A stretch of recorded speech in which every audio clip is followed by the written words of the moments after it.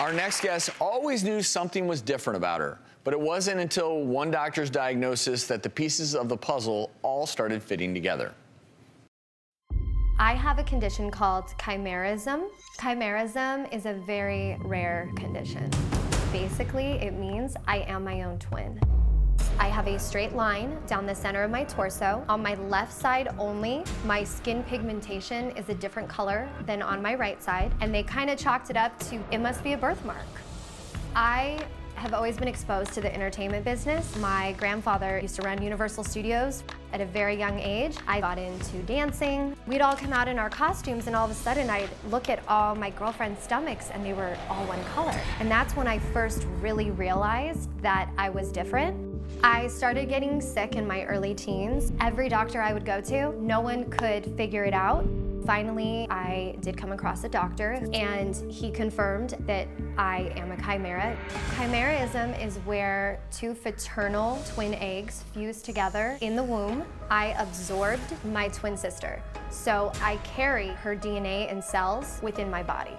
This is my sister's genetic makeup and this is my genetic makeup. Due to having two different sets of DNA and cells, I have two different immune systems and I have two different blood streams. My body treats my sister's DNA and cells as foreign matter and wants to clear it or get rid of it, but it can't. So unfortunately, I suffered from a lot of autoimmune flare-ups. It affects my daily life because I am so sensitive and or allergic just to everything and anything. As far as I know, there's not that much out there about chimerism, and even a lot of doctors themselves have never even heard of my condition. So it would be so helpful to get any tips or any kind of information in regards to my condition. Taylor is joining us today, and Taylor, you obviously have educated yourself a lot about this, but the audience, I'm assuming most of you have never heard of this. I'm hearing a lot of wows, this is fascinating.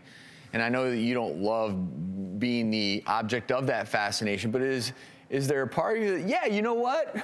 I'm special because Yes, um, you know, when I was young, I think because you know how kids are in general, you always want to fit in and, you know, that sort of thing. So when I was young, I think it was a little bit harder once I did realize that, you know, I was a little different. I used to ask my mom randomly, did I have a twin sister? Wow. Mom, mom, did I have a twin sister? And it was like all the time I used to ask her. And then with all my girlfriends, and you know, little girls do this in general, but mine was like an obsession. Every girlfriend, I wanted us to dress alike and look alike and be alike. And my mom wow. would be like, I don't know where all this is coming so you from. A sense. But now in my adult years, I gotta be honest, I'm like, you know, you have to embrace what God gave you.